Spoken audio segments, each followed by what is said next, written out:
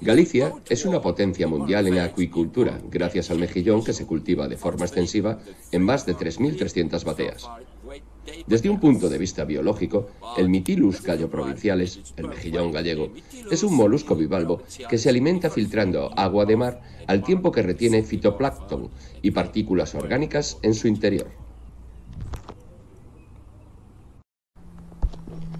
Los bateeiros, las personas que cultivan los mejillones, deben recolectar individuos juveniles de mejillón de entre 1 a 2 centímetros de longitud de las rocas, para luego fijarlos a las cuerdas de las bateas mediante unas gasas, en un proceso que se llama encordado.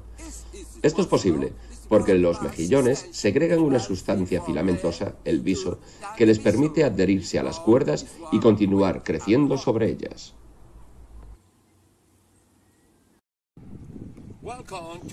Estas son las bateas. Cada batea puede contener hasta 500 cuerdas.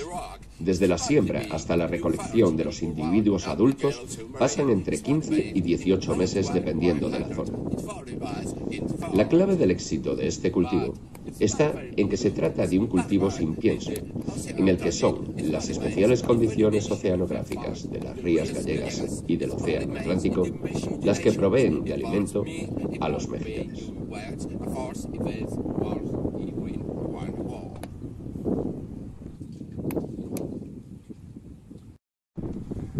Para aquellos de ustedes que hayan quedado con ganas de saber más acerca de este organismo y este singular sistema de cultivo, les animo a que no se pierdan el documental A Ciencia do Mexillón, realizado por personal del Instituto de Investigaciones Marinas y disponible en la Ciencia TK del CSIC.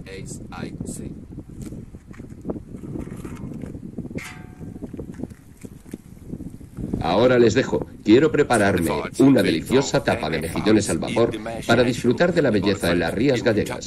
Así que me voy a poner con el conocimiento y ya les veo en la próxima píldora CSIC de conocimiento.